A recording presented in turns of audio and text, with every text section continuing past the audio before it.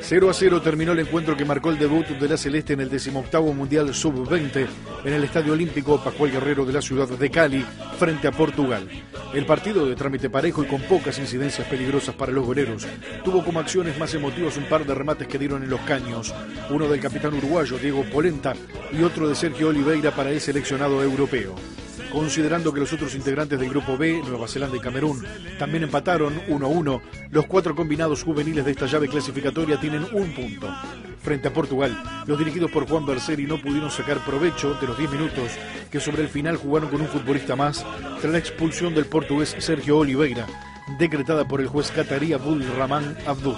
La próxima actividad del grupo está prevista para el martes. Uruguay nuevamente en Cali enfrentará a Nueva Zelanda desde las 7 de la tarde y Portugal a las 10 de la noche jugará contra Camerún. Posteriormente, los celestes que buscan su primer título mundial en esta categoría cerrarán su participación en la fase inicial el viernes 5 contra los africanos y ese mismo día jugará Portugal contra los neozelandeses.